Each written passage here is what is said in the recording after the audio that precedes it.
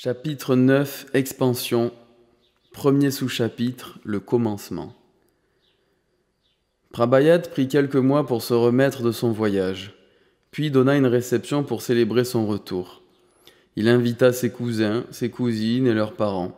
Il invita également les anciens amis qu'il réussit à joindre. Le bouche à oreille fit le reste.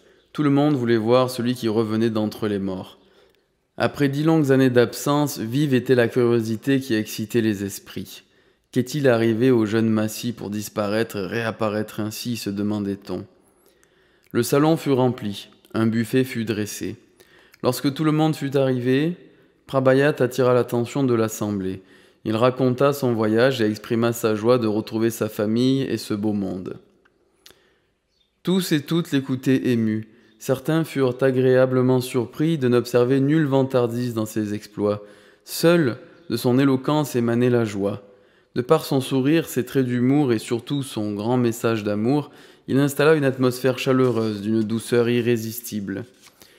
Le second but encore inavoué à l'origine de cette réunion était celui de commencer son travail, parler du Dhamma.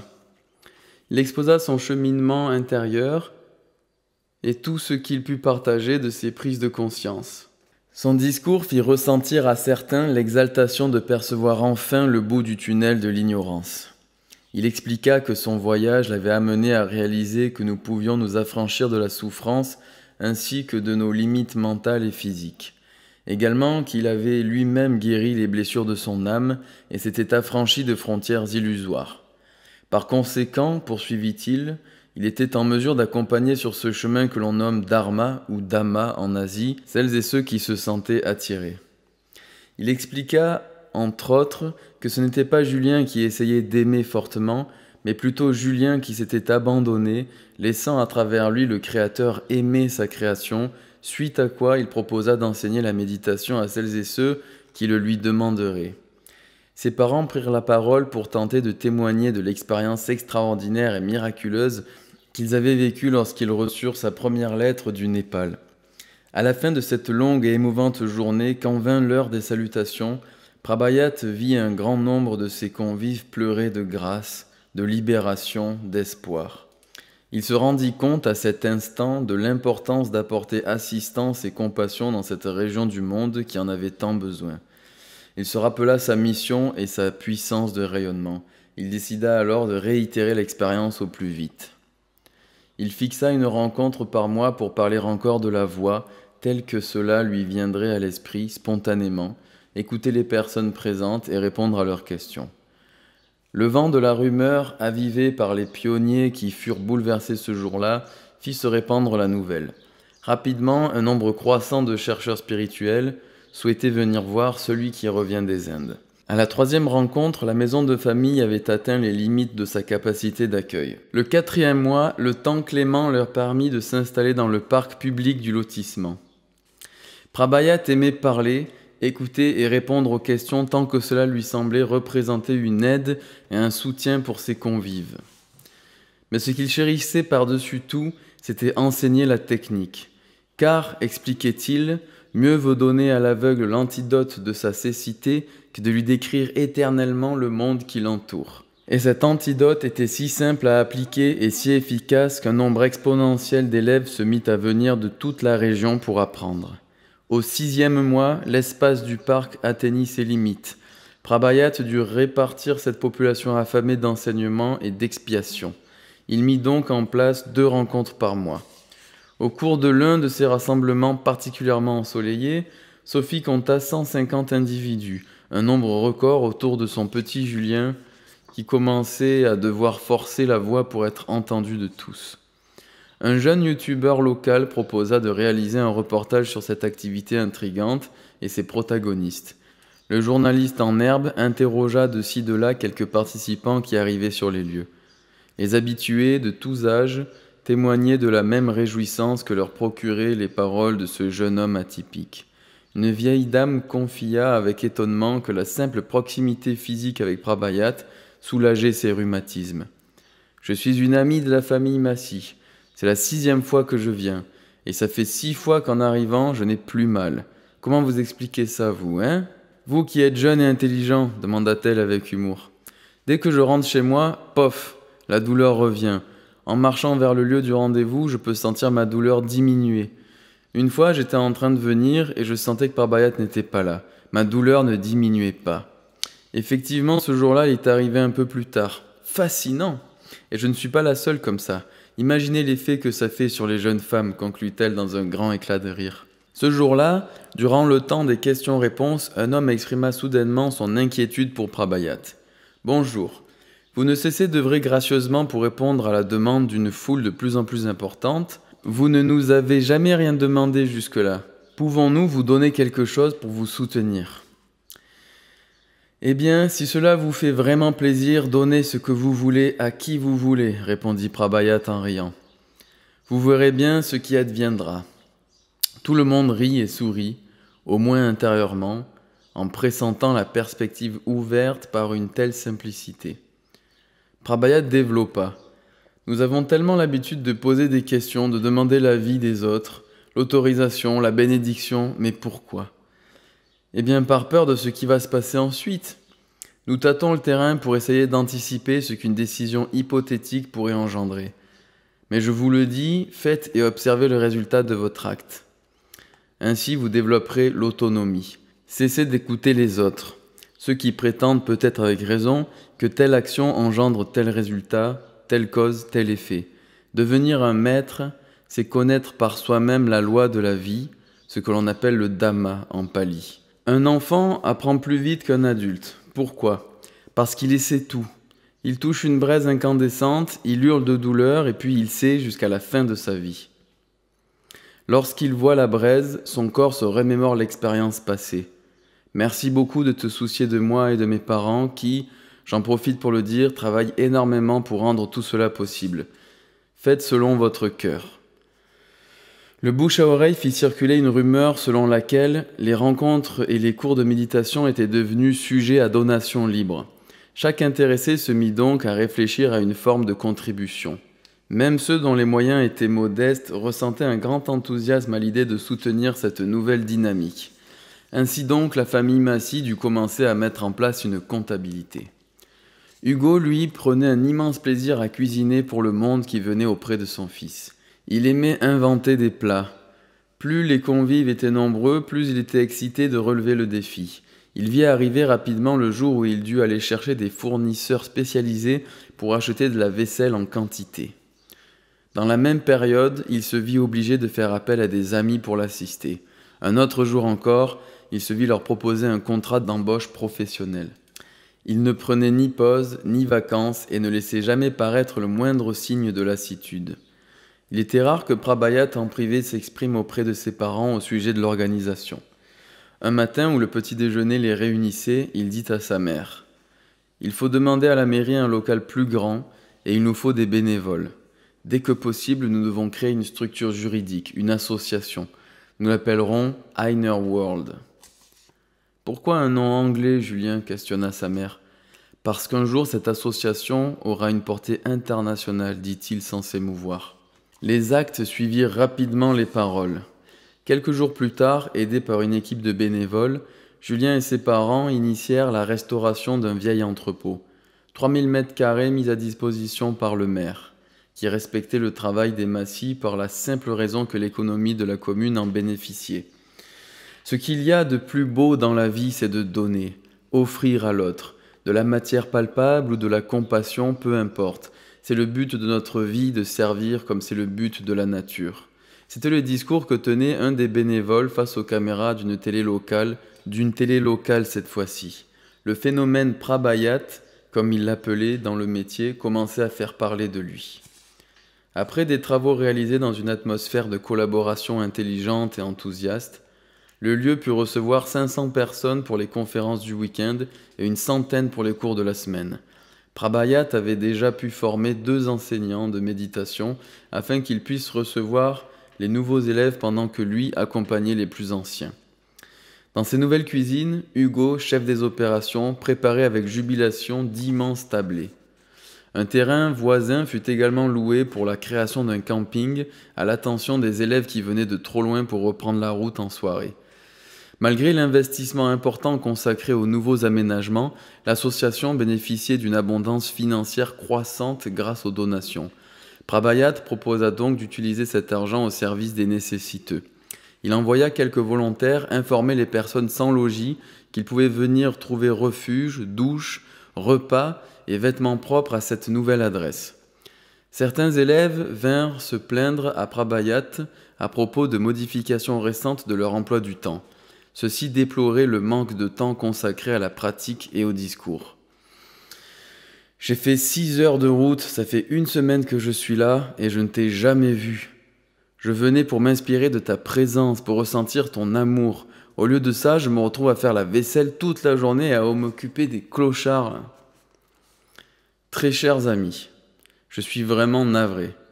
Tout change, tout change. Il y a quelques mois encore, vous seriez venu me dire que vous faites une overdose de mes discours, répondit Prabayat avec humour avant de reprendre plus sérieusement.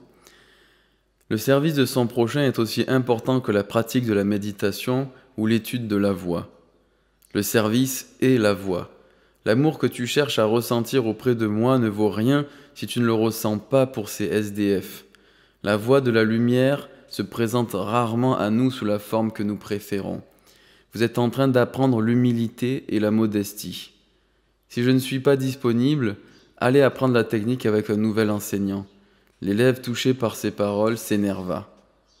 Mais quand pourrais-je au moins entendre un de tes si fameux discours demanda-t-il à Prabayat avant de s'observer et de se reprendre. Pardon, excusez-moi de lever le ton comme ça et de quémander comme un SDF que je méprise toute la journée. Je suis horrible, pardonnez-moi. Prabayat sentit l'amour monter en lui. Il posa une main sur l'épaule du jeune élève avant de lui répondre. Le SDF qui te dégoûte, il est en toi. Tu es en train de le voir et de l'aimer. Grâce aux SDF qui sont en apparence séparés de toi et dont tu t'occupes avec tellement d'attention. Merci infiniment pour tout le soin que tu leur portes. Mets-toi à leur place et tu verras l'ampleur de ton œuvre, l'importance de ta présence. L'élève sentit le feu intérieur laisser place aux eaux salées qui se mirent à perler de ses yeux. Le visage entre les mains, il pleurait au doux son de cette reconnaissance. Au fil de la conversation, d'autres élèves s'arrêtèrent pour observer la scène avec émotion. Certains se tenaient par les épaules, d'autres s'apposaient une main sur le cœur. Certains filmaient avec leur smartphone pour partager sur les réseaux. Durant les rencontres, Prabayat parlait, bien sûr, il racontait encore et encore son histoire, son voyage et son extraordinaire réalisation spirituelle. Il expliquait parfois en détail, selon l'inspiration du moment, le pourquoi du comment. Comment un être humain tout à fait ignorant de sa véritable nature peut, par la pratique, retrouver la route vers le souvenir. Comment cela fonctionne au niveau des molécules de notre corps pendant les heures et les heures de méditation? Comment cela fonctionne au niveau de notre psychologie marquée par les événements du passé? Comment c'est possible que nous ayons d'autres vies? Qu'est-ce que l'âme exactement? Il exposait les lois de la nature dans une simplicité enfantine, laissant bouche bée les scientifiques les plus sceptiques. Quelques semaines après la fin de l'installation dans le nouveau bâtiment, l'équipe de bénévoles qui s'élargissait de jour en jour était organisée en différents secteurs. L'accueil, les cuisines, le ménage, la sécurité, l'administratif, la communication étaient autant de manières de rencontrer le Dhamma. Un jour, après un discours, un homme leva la main pour demander la parole. Il voulait savoir si Prabhayat était capable de soigner des malades comme Jésus ou bien de réaliser des miracles. Prabhayat répondit qu'il n'était capable de rien, sur quoi l'assemblée resta déçue et dubitative. Cependant l'homme insista. Mais on raconte que vous avez guéri un paraplégique le mois dernier. Vous me dites que c'est faux? Prabhayat répondit. Jonathan a retrouvé toutes les fonctions de son corps le mois dernier par la grâce du Tout-Puissant qui a pu passer entre moi et lui par le canal de notre foi commune, mais je n'ai rien fait à proprement parler. Pendant que l'interlocuteur tentait de concevoir la réponse de Prabhayat dans son esprit, une vieille dame se sentit inspirée par ces mots et leva le bras. Prabhu chéri, tu pourrais être mon petit-fils, nom de Dieu, lança la vieille dame pour faire rire toute l'assemblée. Puis-je venir te voir dans l'intention de guérir? ajouta-t-elle émue. Comment t'appelles-tu? demanda Prabayat. Lily. Très bien. Aidez Lily à venir ici. Oh oui, mon chou Toute l'assemblée se mit à rire de nouveau. Avec l'aide de son voisin, Lily se déplaça lentement. Elle contourna quelques rangées de chaises et arriva sur l'estrade. Elle souffrait d'une maladie des os extrêmement douloureuse. Sa colonne vertébrale était affectée, elle était condamnée à être penchée en avant depuis des dizaines d'années déjà.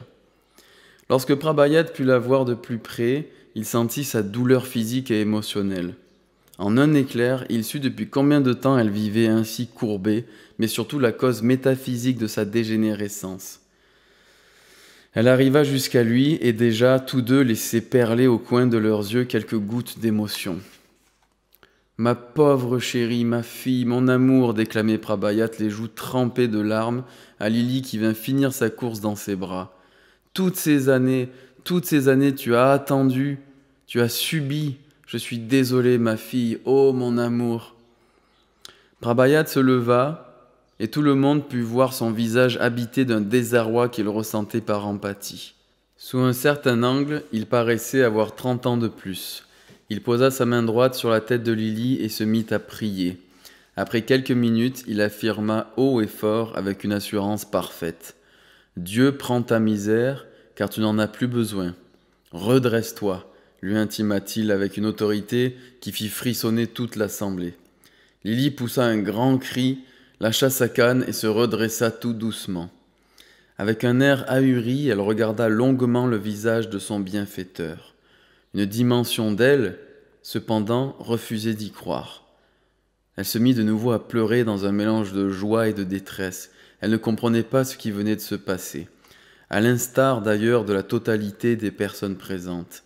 Elle lui prit les joues et se perdit encore un instant dans la profondeur abyssale de son regard. Prabayat la rassura. C'est terminé. Elle repartit s'asseoir, seule et sans sa canne, savourant chacun des gestes de son nouveau corps, de sa nouvelle vie. Elle regardait autour d'elle comme si elle venait de naître ici et maintenant sur cette estrade. Toute l'assemblée, abasourdie, épiait le moindre de ses pas. Certaines personnes sortirent de la torpeur plus vite que les autres et se levèrent pour applaudir, crier de joie, pleurer de grâce. Soudain, une dizaine d'élèves se ruèrent au pied de Prabayat pour le toucher avec dévotion. Les bénévoles de la sécurité avaient beaucoup de mal à s'habituer à l'agitation si soudaine que provoquaient les miracles de plus en plus fréquents. Les jours de discours publics, ils étaient partagés entre l'excitation et l'appréhension qu'un nouveau prodige soit accompli. Ils devaient en même temps juguler la foule et lui permettre de s'approcher du jeune maître sans qu'il soit bousculé. L'hystérie était telle, parfois, que certains dévots démontraient des signes de violence. Chaque jour et chaque discours était différent, cependant certains rythmes se répétaient naturellement. Une fois le calme retrouvé, Prabhayat avait à cœur d'expliquer tant que faire se peut les sciences du miracle. Tout cela n'a rien d'imaginaire ou de surnaturel, assurait-il. Mes amis, tout cela est bien normal. Alors il expliquait que la guérison spontanée se résumait au fait de trouver le point précis où tout le poids de la souffrance se pose en nous. Il assurait que tous nous pouvions faire de même. Il s'agissait de rencontrer notre âme dans ses profondeurs abyssales, là où elle était froissée, pliée, nouée, et d'avoir la force d'embrasser l'intensité du vivant et d'aimer cela. La tension alors disparaissait en laissant sortir le mal accumulé par la fausse croyance la vision biaisée depuis des milliers d'années. En vérité, vous n'êtes pas malade, vous ne l'avez jamais été, mais vous le croyez si fort que le Père Tout-Puissant exauce votre projection si chère à votre cœur pour un temps. Aimez-vous et vous guérirez, vous guérirez même de la mort. Lorsque de tels prodiges avaient lieu, les centaines de témoins se mettaient naturellement à la file dans l'intention d'être bénis. Ainsi, la nuit durant, Prabayat assistait d'extraordinaires noces entre les âmes de bonne volonté et les instances archangéliques des mondes éternels.